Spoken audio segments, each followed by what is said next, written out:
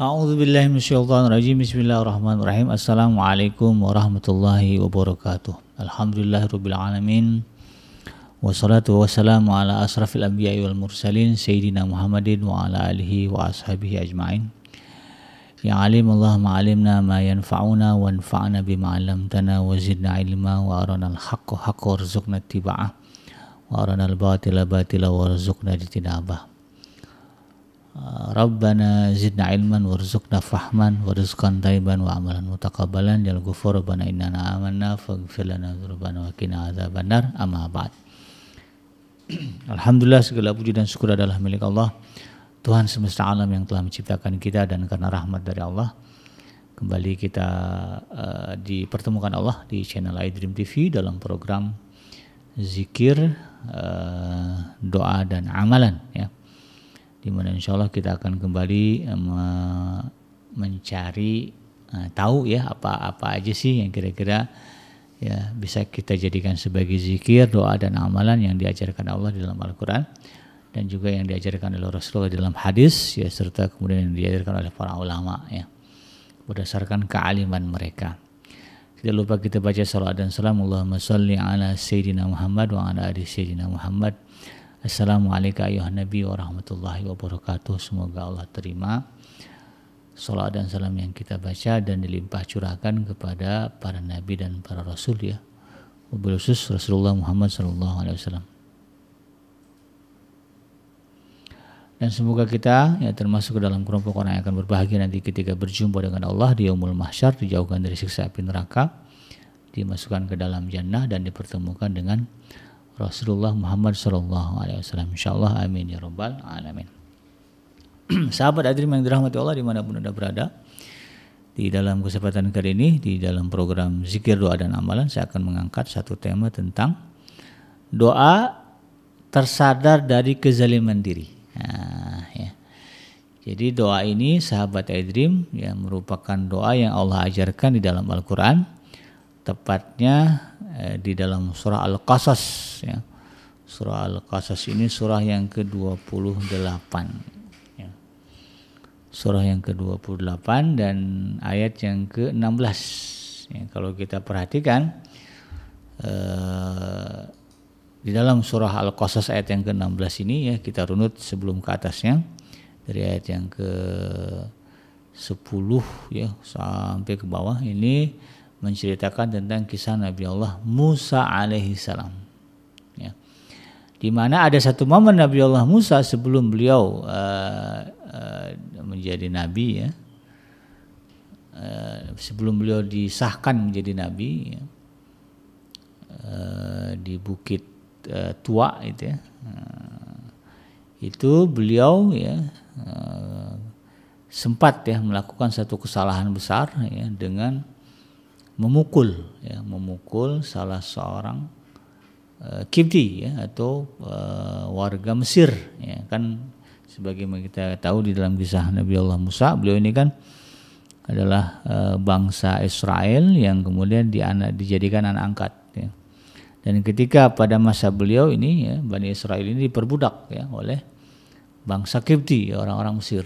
Nah, jadi namanya juga perbudakan ya, eh, banyak tindakan-tindakan ya.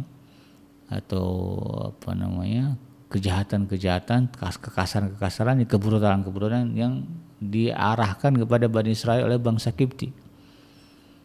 Ya, di dalam di dalam riwayatnya disebutkan ya ada seorang uh, warga warga apa Bani Israel ya. Yang kemudian berselisih paham ya dengan orang Mesir dengan orang Kipti lalu kemudian dia mengadu kepada Nabi Musa.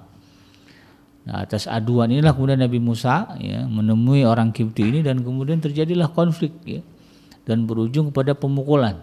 Ya, di dalam riwayat disebutkan uh, misalnya kalau kita lihat di dalam uh, kitabnya Imam Ibnu Kasir ya di dalam uh, kitab Qasasul Anbiya. Eh, orang ini kemudian ya, uh, dipukul Nabi Musa mati dan kita tahu ya membunuh itu dosa besar adalah kejahatan besar hmm, ini jangan gampang membunuh ya kadang saya agak miris juga ya melihat fenomena di uh, zaman sekarang ini banyak sekali berita-berita ya terkait dengan insiden yaitu peristiwa pembunuhan. Ya, ya mungkin dia dulu juga banyak, cuman kan nggak beritanya nggak nggak secepat sekarang beredarnya. Jadi sekarang ini ada berita kan mudah ya kemudian diupload ya diekspos ke media sosial sehingga kemudian kita jadi cepat tahu dan ini kemudian membuat ya eh, setiap hari ada saja ya, berita-berita terkait dengan insiden ya, kekejaman, kejahatan, pembunuhan. Ya, dan dan itu kemudian MUI ya sempat juga beberapa waktu lalu ya me, memberikan uh, sorotan ya terkait dengan maraknya insiden atau kasus-kasus pembunuhan. Ya. MUI mengingatkan kembali betapa membunuh itu adalah satu dosa besar. Ya, ini yang uh, harus sahabat hadirin pahami dan ajarkan kepada anak-anak kita ya kepada kerabat-kerabat kita ya bahwa membunuh ini bukan dosa kecil ya. ya dalam dalam Al-Qur'an ditegaskan siapa yang membunuh satu jiwa ya dengan alasan yang tidak dibenarkan syariat maka seakan-akan dia telah membunuh seluruh manusia. Ya, dosanya gede itu ya. ya. Membunuh satu manusia sama dengan membunuh ya dosanya sama dengan membunuh manusia seluruhnya. Ya, kalau hari ini ada 6 miliar manusia ya, sama aja kita menanggung Dosa seperti membunuh 6 miliar manusia. Kan besar itu. Bukan dosa kecil itu ya. Belum lagi konsekuensi apa? Ya, kita akan menanggung dosa dan kesalahan orang-orang yang kita bunuh. Nauzubillah. Ya, orang itu punya dosa apa ya? Dosa dilimpahkan kepada orang yang membunuhnya. Ya, dulu ada juga hukum seperti itu dalam Al-Quran.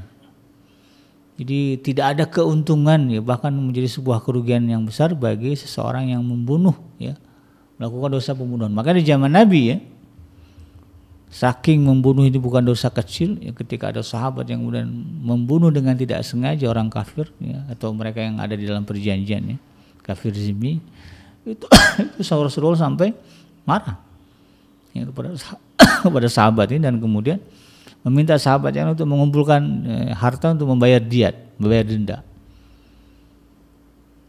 Karena kalau udah dibawa, dibawa ke akhirat, wah ya urusannya ribet dan panjang dan pasti kita akan rugi ya gitu. Jadi ini harus diingatkan ya kepada siapa pun ya keluarga kita, kerabat kita, tetangga kita bahwa membunuh ini bukan satu hal yang kecil, ini adalah satu hal yang sangat besar di sisi Allah. Kenapa? Karena kita menciptakan Ya, kita tidak menjadi kita bukan yang kita tidak menciptakan manusia. Tidak ada saham kita di dalam penciptaan manusia. Ya. Ada orang dibunuh ya gara-gara masalah uang berapa sepele itu kan masalah apa? Masalah uh, uh, senggolan di jalan, ujung-ujung saling bunuh ya, atau dibunuh. Ya, kita tidak termasuk ke tidak kita tidak punya saham atas penciptaan orang yang dibunuh itu nggak ada. Ya. Sehingga tidak ada hak bagi kita membunuh orang. Itu yang menciptakan dia itu Allah, yang ngasih ruh itu Allah. Yang menyempurnakan kejadian jasanya itu Allah. Eh kita kemudian bunuh dengan sesuka hatinya. Wah ini nggak boleh. Ya. Makanya untuk urusan e, bunuh membunuh ini ya ada aturannya. Hmm, karena jiwa itu yang menciptakan Allah, ya, yang memelihara dan semua adalah Allah Subhanahu wa taala. Kita tidak bisa serta merta main petik aja. Coba deh kita nih nanam pohon ya, dari kecil ditanamin disiramin ya. Gede berbuah, lalu kemudian dengan suka hati aja orang metik aja. Marah nggak gitu sama orang yang metik tanpa izin? Marah. Ya, masa main petik aja. Yang nanam siapa, yang gedein siapa, oh, bugilan buah main petik aja. Nah, ini kemudian tidak boleh terjadi ya sahabat dan terima rahmat Allah. Dan karena itu kemudian ya ada doa yang diajarkan oleh Allah Subhanahu wa taala ya nah, di dalam Al-Qur'an berdasarkan kisah Nabi Allah Musa alaihissalam. Ketika Nabi Musa kemudian menyadari dirinya telah melukai ya membunuh ya, orang Kipti ini, maka kemudian beliau membaca doa ini ya di dalam doa yang termaktub di dalam surah Al-Qasas ayat yang ke-16 ya. A'udzu billahi minasyaitonir rajim. Qala rabbi inni zalamtu nafsi faghfirli faghfara lahu innahu wal ghafurur rahim. Ya, doanya pendek ya. Jadi ketika Nabi Musa tersadar bahwa dia telah melakukan sebuah kejahatan yang besar, ya, kezaliman yang besar, membunuh tadi, Maka beliau beliau mengatakan, Rabbi ini zalam tu nafsi faghfirli. Nah, ya Allah, sungguh aku telah melakukan kezaliman ya, atas diriku sendiri. Faghfirli, ya Allah ampunilah aku. Nah, jadi doanya begitu ya. Rabbi ini zalam tu nafsi faghfirli. Ya, Rabbi ini zalam tu nafsi faghfirli. Ya, Tuhan wahai Tuhanku, ya artinya ya, sungguh aku telah menjalimi diriku sendiri maka berilah aku ampunan. Ya, ampunilah aku ya Allah. Jadi ketika beliau mengatakan ini ya Rabbi ini zalam tu nafsi faghfirli. Dosanya kan besar nih membunuh. Apa kata Allah? Faghfaralahu maka kemudian Allah memberikan ampunannya kepada Nabi Musa. Innahu huwal rahim. Jadi doa ini ya menjadi salah satu sebab ya dengan segera turunnya ampunan Allah Subhanahu wa taala atas kezaliman yang besar yang kita lakukan. nah, ini kemudian menjadi ya, harus menjadi kesadaran kita ya ketika kita ya melakukan satu kezaliman ya. Ya kadang-kadang nggak tahu ya kita di jalan ya. Hmm, tiba-tiba aja ada orang bini begitu kita lupa itu kan namanya pulang kerja capek ya. Kita layanin tuh ya. ada maling ketangkep. Wah kita emosi ikut mukul-mukul. Eh taunya malingnya mati. Ya itu. nah yang kayak gini-gini kita kadang-kadang nggak sadar. Nah segera ya ketika kita menyadari kita telah melakukan kezaliman baca doa ini supaya Allah kemudian segera menurunkan ampunannya.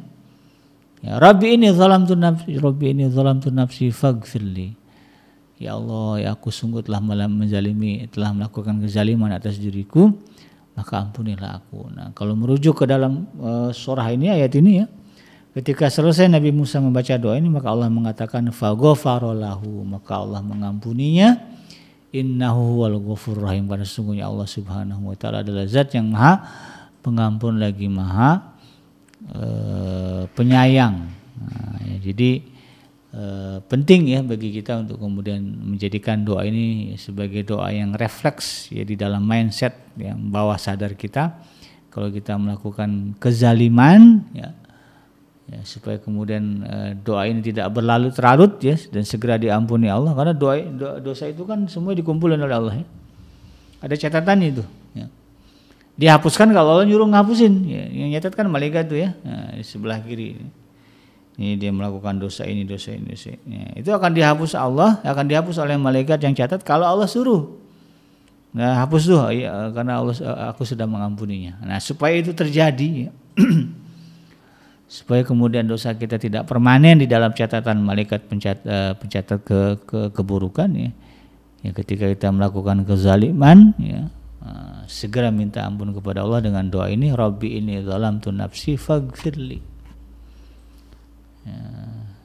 Dan kalimat ini kita sadari gitu kan ya. Kita sadar ya Allah ya kok tega saya mukul anak gitu ya. Kok tega saya nyupit nyupit anak sampai nangis sampai kulitnya merah gitu ya.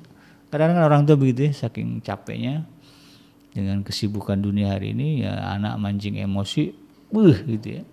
Atau guru kadang-kadang ya Allah lupa gitu ya. Ngasih hukuman fisik ya kelewatan lalu kemudian kita sadar ya, maka segera baca doa ini. Rabbi ini zalam tu nafsi faghfirli ya. Rabbi ini zalam tu nafsi faghfirli ya Allah engkau aku telah mengalami apa melakukan kezaliman atas diriku sendiri.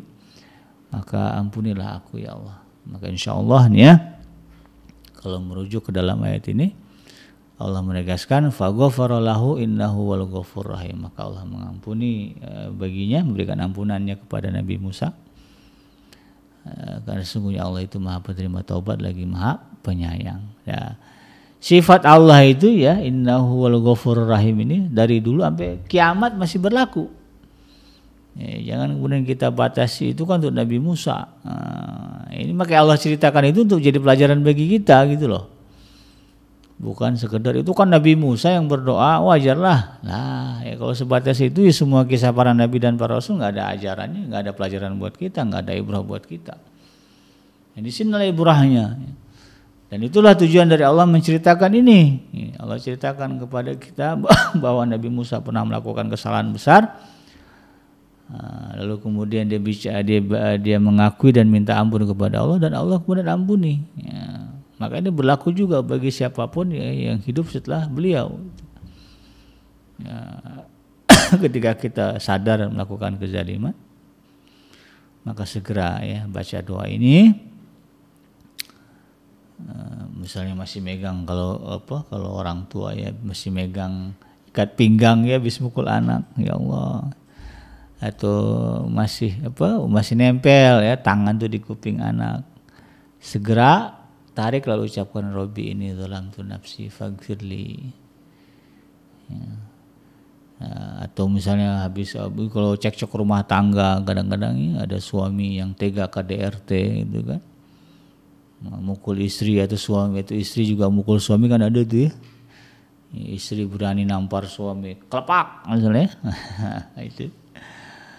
Itu nggak boleh itu kezaliman itu apalagi ditampar suami hmm. Maka segera baca ini Rabbi ini tu nafsi fagfirli renung-renungi ya bahwa ini adalah sebuah kezaliman. Dan kezaliman ini akan menyebabkan dosa ya, dan dosa ini akan membawa kita ke dalam nerakanya Allah. Nauzubillah ya. Jadi sekali lagi sahabat Edirmi yang dirahmati Allah ya mudah-mudahan ini bisa kita amalkan kita hafalkan ya.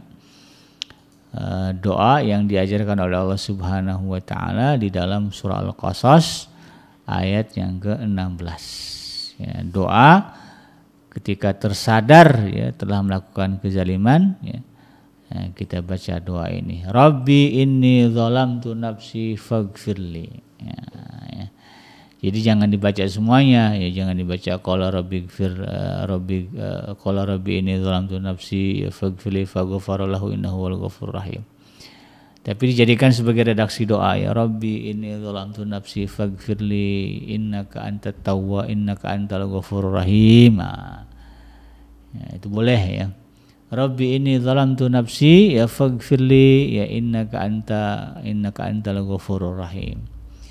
Ya Allah ampunilah ya ya Allah aku telah melakukan kezaliman ya, maka ampunilah aku karena sesungguhnya engkau lah yang maha penerima yang maha pengampun lagi maha penyayang nah, innahu huwal ghafurur rahim ya. Atau Rabbi ya, inni zalamtu nafsi faghfirli ya, ya innaka antal innaka antahul ghafurur rahim ya. Sesungguhnya engkau Allah adalah zat yang maha pengampun lagi maha penyayang. Nah, ini kita baca kita amalkan. Sehingga kemudian dosa yang kita lakukan, kezaliman yang kita lakukan tidak berlarut. Kadang-kadang berlalunya masa kita lupa ya. Kita lupa meminta ampunkan dosa atas kesalahan itu. Ya, karena sebaik-baik minta ampun adalah kita menyadari kesalahan kita. Ya Allah ampuni saya dosa yang mana yang, yang kita yang minta diampunkan kita sadari ya. Nah, makanya sebaik-baik eh, hamba yang minta ampun itu adalah ya, Eh, ketika dia selesai melakukan ketika dia sadar ya di dalam telah melakukan kesalahan dia segera minta ampun kepada Allah nah, jadi nggak berlarut ya dosa itu kadang ada kita yang uh, dosanya hari ini ya minta ampunnya sebulan yang sebulan yang akan datang gitu kan. Datang ketemu orang yang maaf ya yang bulan lalu saya begini begini sama kamu. Wah itu kejauhan ya. Kita nggak pernah tahu umur kita sampai di mana. Kalau tiba-tiba hari ini atau besok kita meninggal repot. Maka supaya dosa kita tidak berlarut segera ya ketika kita sadar melakukan kesalahan, sebuah kezaliman, kita minta kepada Allah ya ampunan dengan kalimat Rabbi ini tu nafsi faghfirli innaka antat ya innaka antal ghafurur rahim ya. ya Allah aku telah melakukan kezaliman atas diriku maka ampunilah aku karena sesungguhnya engkau adalah maha pengampun lagi maha penyayang Demikian mudah-mudahan bermanfaat yang benar datang dari Allah Subhanahu wa taala dan yang salah semata-mata lahir dari kalfan dan kegelapan saya pribadi. Saya bikinnya pamit undur. Subhanaka Allahumma rabbana wa bihamdika asyhadu an la ilaha illa anta Walhamdulillahirabbil alamin. Assalamualaikum warahmatullahi wabarakatuh.